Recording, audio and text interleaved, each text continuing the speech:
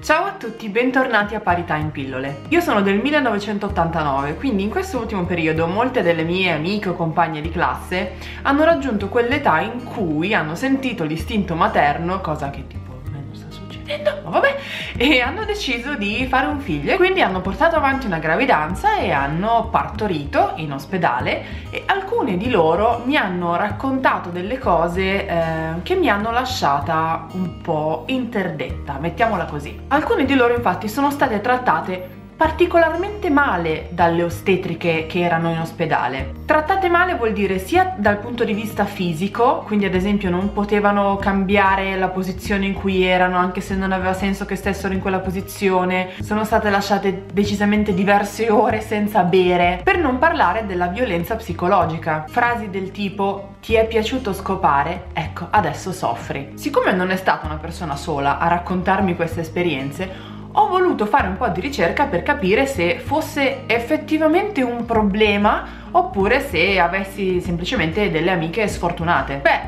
quanto pare è decisamente un problema. Un problema tanto diffuso da aver fatto nascere degli hashtag per parlarne. Se cercate l'hashtag basta tacere troverete una serie di racconti di donne che hanno partorito in ospedale e che sono state trattate da schifo dalle ostetriche e in generale dal personale medico. Questo hashtag è l'italianizzazione dell'hashtag break the silence, nato per la stessa identica ragione. A quanto pare le donne non ne parlano o ne parlano soltanto con le amiche ma non pubblicamente, ma questa cosa è un problema serio. Talmente tanto serio che è stata presentata una proposta di legge sulla violenza ostetrica che punisca appunto questi comportamenti con una reclusione da 2 a 4 anni. Molti ginecologi non sono d'accordo con questa proposta di legge perché dicono che per evitare questi comportamenti basterebbe far rispettare le leggi che già sono presenti. Però, a quanto pare, non le stanno rispettando. Questa proposta di legge è stata presentata dal deputato Adriano Zaccagnini e che sia stato un uomo a presentare questa proposta di legge è quantomeno interessante. Da un lato sono contenta perché quindi ci allontaniamo dalla logica che il parto, la gravidanza, tutte quelle robe lì sono robe solamente femminili di cui si devono fregare soltanto le donne. Dall'altro mi chiedo, dovevamo veramente aspettare che arrivasse un uomo a fare questa proposta di legge? Perché non ci è arrivata prima una donna? Lascio la domanda aperta e con questo ovviamente non sto dicendo che debbano occuparsene solo le donne, proprio per il punto 1 che vi ho spiegato prima,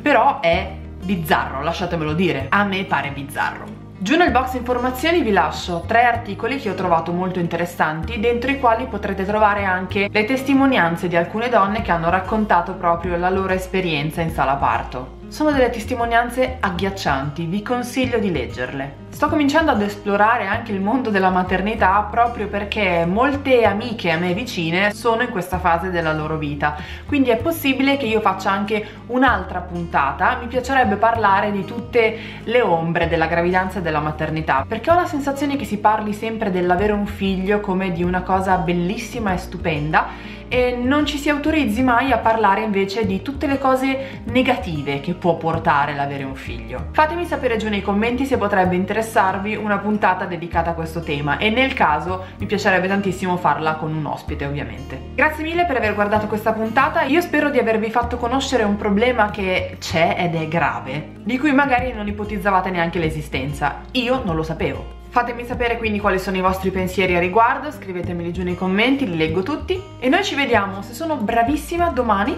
altrimenti la settimana prossima, ma dovrei essere abbastanza brava. Grazie mille a voi per essere arrivati fino a qui e grazie per aiutarmi a creare cultura insieme. Ciao!